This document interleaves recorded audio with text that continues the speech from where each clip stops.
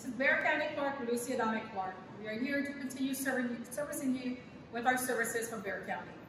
Please know that please only come down to the Bexar County Clerk's office if you need our services, as your marriage license, your deeds, your deed of trust, or emergency services that are needed from our probate department.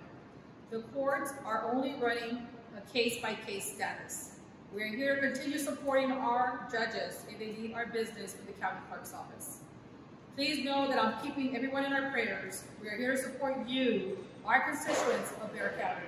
Please visit our website at www.bexar.org and schedule your appointment to come get your marriage license, DBA, assumed name. We are still recording land records. The beautiful thing about technology, I send staff home and they are indexing that part of Bexar County. Our land records are still 100%, so if you have e-recording, go online and do your services with the Bexar County Clerk's Office.